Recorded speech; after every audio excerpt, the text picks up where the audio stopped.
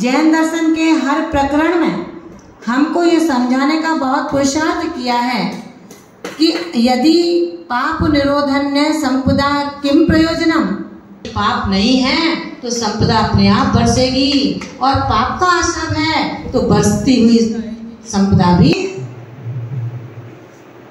जैन दर्शन कहता है कि नीरू और कामदेव बना करके एक बबा ताली बना देगा जो मुक्ति का नायक बन जाए। क्योंकि नौकरी करनी है। प्रकरण निश्चित तौर से आपके बीच में कल आएगा।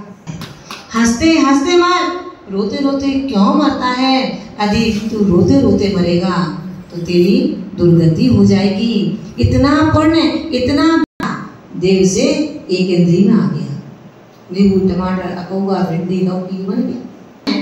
बाल बाल मरण होता है और द्वितीय शासन स्थान में भी बाल बाल मरण ही